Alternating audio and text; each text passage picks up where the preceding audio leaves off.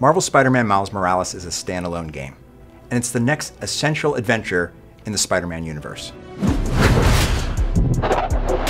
Insomniacs loved this character for a long time. We introduced him in Marvel Spider-Man, and we knew we needed to tell a standalone story of Miles Morales becoming a hero.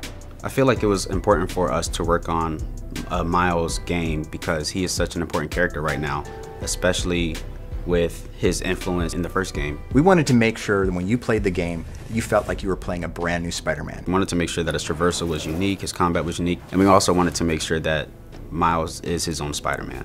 Miles has these incredible explosive new powers like bioelectricity and invisibility. He isn't as confident, but he's learning from Peter. He's trained with Peter. He doesn't move the same way, so when he's swinging, he's a little bit more flaily. The PS5 allows us to have a fully seamless experience from beginning to end.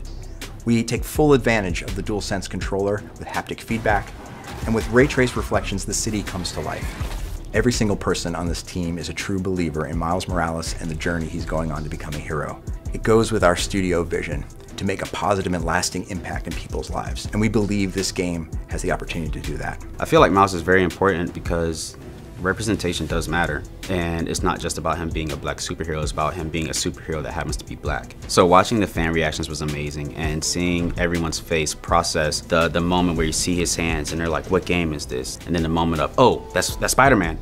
Wait, oh, it's Miles. And you see their faces light up. That inspires us and that is such a great feeling to know that everyone seems to be behind this project and love this character. Well, the trailer you've seen is just the tip of the iceberg. We have a lot more to share in the coming months and from all of us Insomniac Games, please take care and we'll talk to you soon.